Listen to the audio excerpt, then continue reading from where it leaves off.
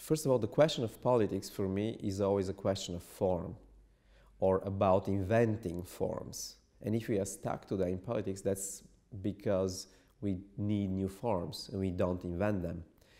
And the connection to body monstrosity is definitely the connection through form, but through unimaginable forms, not conventional forms, not uh, forms which are related to certain orders of uh, representation, but forms which could emerge through a certain potential of body to exceed itself, including the collective body, the body politic.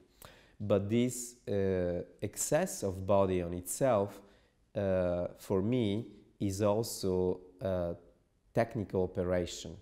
And that's why I consider this relation of body and technique fundamental for my work, where precisely the issue of monstrosity is an issue of, let's say, unimaginable techniques. Uh, it's the way through which bodies always exceed themselves, cannot be identical to themselves, and therefore I call them technical, because technique is the impossibility of body to be in, uh, identical to itself, to a form to be identical to itself. Therefore, there is an immanent dynamics, immanent movement within a form which allows to never be fully captured and to always re-articulate itself in a different form, in a different modality, which precisely different modality could allow to imagine a different modality of political organization.